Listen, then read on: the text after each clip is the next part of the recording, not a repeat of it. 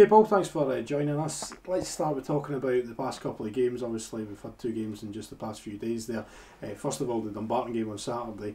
Uh, you managed to get in the score sheet, and it was a terrific performance, wasn't it? Uh, it was one of the games everybody played well, and sort of once you got a couple of goals ahead, everybody was sort of get the confidence up, and it was really good just to see all the goals going. It's obviously exciting for the fans seeing all the goals going, and uh, maybe the only disappointing thing for the guys at the back was that we conceded the, the goal, but in the on that day, it's a it's a positive one for us. You managed to score a few goals recently, particularly in the, in the cup run as well. You managed to chip in with a few goals. Is that something that the managers keeping on at you to try and find the net more? Aye, has been to be fair. He's been he's been saying to me since probably the start of the year, and you get more goals. And over the last few weeks, I found myself on the score sheet a couple of times, so it's just been good. It's something I want to keep up.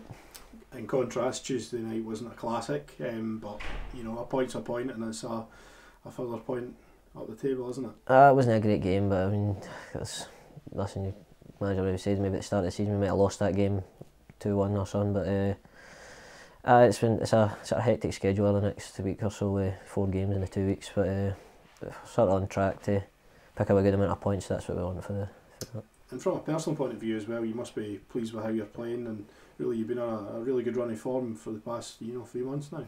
I'm just enjoying my football. To be honest, it's for to be honest in the last year and a half, it's the most consistency I've had in playing in a team, and it's, it's something I'm really really looking for, really relishing, and it's something I kind of sort of hope to keep up towards the end of the season. Obviously, it's still a wee bit till the end of the season. You're you're on loan from Celtic. Have you had any thoughts about what you want to do in next season, or is that something for a wee bit further? Uh, I think it's for a wee bit further down the line. Just now, I just want to keep try to play well, try to get a name out there, scoring goals, and then you just see where it takes you.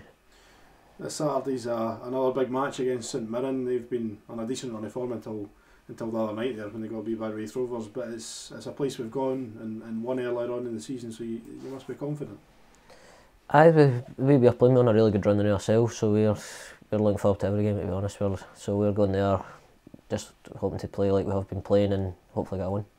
And St Mirren, a club that you've played with as well, you were there for a while last season. Um, it's obviously not nice to see a, a former club like like St Mirren down at the bottom of the table, but that's how harsh this league can be, I guess. Uh, definitely. They had a bad start and it's they're sort of paying for that now. They've been on a good run recently, but uh, I, I don't know. They've still got there's still enough games really. They can turn it around, but uh, hopefully they don't start turning it around against us.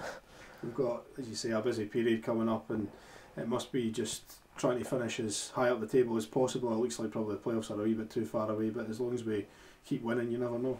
Aye, all we can do is just try and keep winning games. Just if somebody has a somebody has a disaster and comes back to us, then brilliant. Then that's what you look for. But uh, we just try to pick up as many points as we can and see where it leaves us.